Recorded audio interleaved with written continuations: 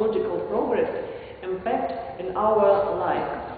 Uh, in my opinion, uh, there are a lot of good things that um, are being killed by technological progress. And uh, I am skeptic.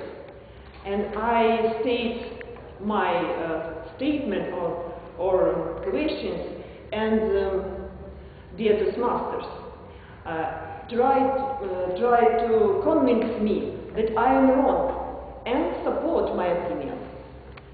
The first, the art of writing letter can be replaced by electronic mail because um, uh, paper, uh, paper letter um, has own unique soul when I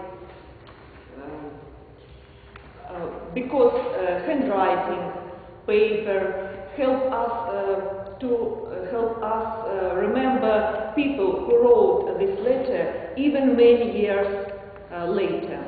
Do you agree with me or not? And help me, please, our guest.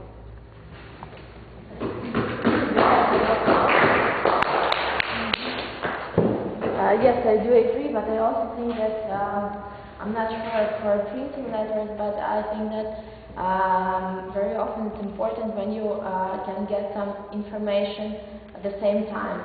That's not about the writing letters, it's about internet. For example, if I have sister in America and I have where uh, I need to say her something, I just can print it out.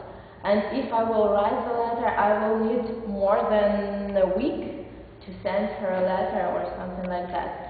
And um, about writing a letter, it's um, uh, it doesn't have to be written with a hand. It can be printed because when you print, you think more when you talk. Because uh, when you have talked already, you don't have an opportunity to um, to remove words, to um, say something more, or uh, someone uh, can understand you not. Not that way you wanted to say. And if you write that, or if you print it, you think uh, twice, or even three times. Um, maybe um, girls will understand if you write a letter to a guy who you like, you will think about three times, or oh, this word was another one, or uh, and if you say that that way. If you are talking about that.